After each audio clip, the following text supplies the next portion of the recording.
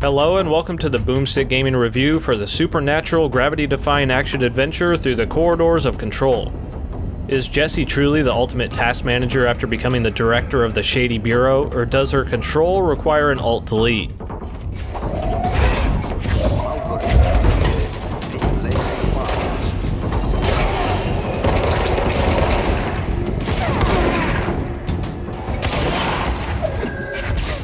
Control is primarily a narrative driven third person shooter at its core, which leans quite heavily on gravity manipulating abilities as well as some open ended exploration. The gunplay is very solid, allowing you to morph your weapon into various other forms that makes up the entirety of your arsenal in one very flexible little pistol. There is no ammo in the game, however, and you must place your shots well or risk being left out in the open with your weapon having to recharge. This was a smart design choice because one, I am a firm believer that no one ever really has fun running out of ammo and having to pick up more, and two, this requires the player to naturally bounce back and forth between firing their gun and utilizing their inhuman abilities that they gain throughout their adventure. Picking up and throwing office decor, oncoming projectiles, and even enemies themselves is quite seamless to pull off mid-battle. Even if there are no physical objects in sight to pick up, concrete is usually in abundance everywhere you travel, which can be ripped from the environment itself to be used as a deadly projectile, turning you into a slightly less impressive Magneto. Some enemies you fight will even have shield barriers that encourage you to use the powers at your disposal rather than just slowly chipping away with raw gunfire. Other abilities are gained along the way that primarily expand the fundamentals of combat, and although Control is touted as having some Metroidvania style elements, this is true, but they often do not revolve around the unique abilities you gain, and instead function mostly off an accumulating clearance level value assigned to some locked doors. This is not to say your newfound powers never allow you to seek out new locations, but I found the Metroidvania exploration to be somewhat barren and simplistic, resulting in only really finding a near endless supply of crafting materials and character mods, which I will be getting back to here in a moment.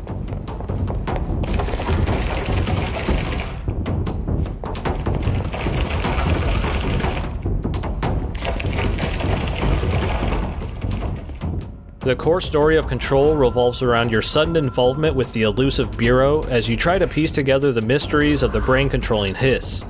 If you've played previous Remedy games like Quantum Break or Alan Wake, you'll probably have a good idea on how the overall story unfolds through strange environmental set pieces, direct one on one conversations, their favorite immersion breaking real life video footage, and enough lore documents to easily drown in. I will not be mentioning any further details about the story from here on out to keep this as spoiler free as possible, but if you found Remedy's previous works to be intriguing, you will more than likely find something to latch onto here, but if you find their style to be a little heavy handed, luckily you can get right back out into the action fairly quickly between these story beats. Doesn't the timing seem suspicious? I thought that too. Dr. Darling usually likes to unveil his latest breakthrough in big presentations. With these, he just passed them out. Yeah, his behavior makes me wonder what exactly he knew.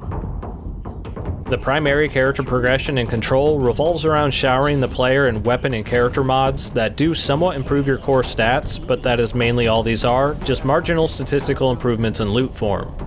Some of these do slightly alter how the guns fire, which I would have honestly liked to see more of. These mods are not a complete letdown, nor an invigorating exploration motivator, but they do get the job done at injecting a small dose of RPG elements into the game. You also have a fairly straightforward skill tree that helps to give you a little more agency over your loadout, but again are mostly just slight statistical improvements outside a few core nodes that alter certain abilities. The other primary collectible in the game are resources which can be used to create new forms for your gun or to improve a pre-existing one. If these resources are not needed for those upgrades, you can dump them into the Astral Construct system that allows you to generate randomized mods of your own, which feels somewhat ripped straight from the microtransaction playbook, but at this time is luckily just bound to the game's currency itself and not your wallet. All of these elements combined are your prime incentive to venture off the beaten path and control, but are they a worthy motivator? Somewhat, but I would have liked a bit more out of the exploration.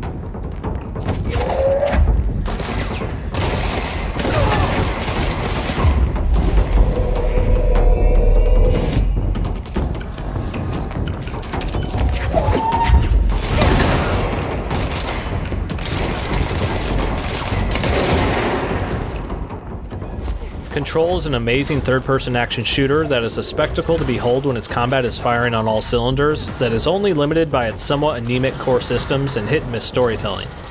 If you go into Control with the right frame of mind, you will definitely enjoy the tightly crafted psychological journey that Remedy has laid out for you.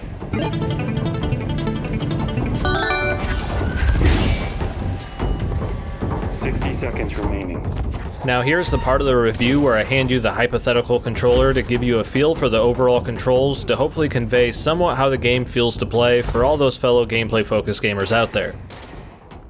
Overall, control feels above average to, well, control, with aiming your weapon being near flawless with only a small amount of what feels like some light smoothing. You can easily toggle the alternate form of your weapon with the press of a button. It's not a instantaneous switch, but still perfectly quick enough to switch out mid-firefight. You also have a quick evade that can be performed on the ground or in the air, pretty straightforward. The melee attack looks pretty cool, but unless you pump some stats into it, not incredibly powerful. Now the crouch is interesting here in Control because you can't crouch and shoot at the same time. You can use this to peek over ledges, but as soon as you actually start firing, you are forced to stay standing. I'm not going to be showcasing every ability you get here, but a large element to the core late game combat revolves around your ability to float.